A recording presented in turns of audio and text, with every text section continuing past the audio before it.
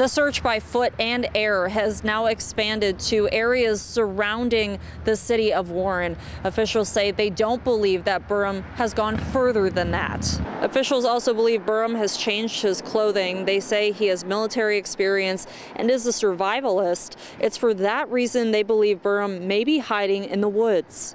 It is challenging, and I can tell you that uh, as recently as uh, just before I walked in here, our members were out conducting wooded searches. I can tell you the terrain is very rugged, it's steep.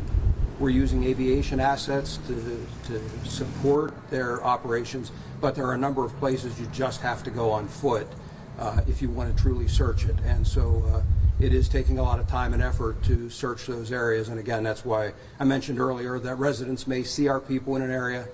We don't want to cause any concern or panic, but we're trying to be thorough and, uh, and follow up on everything. He also says Burham is believed to be armed and dangerous because the last time he was on the run, Burham was able to obtain a firearm. Police blocked off Water Street for hours on Friday night and into Saturday morning near 3rd and 7th Avenues in Warren.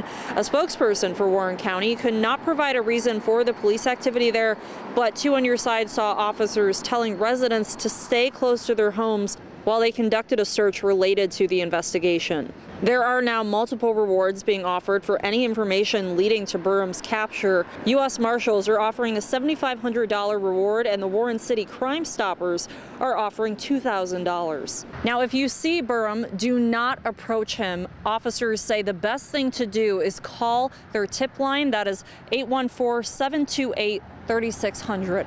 Reporting in Warren, Danielle Church, Channel 2 News.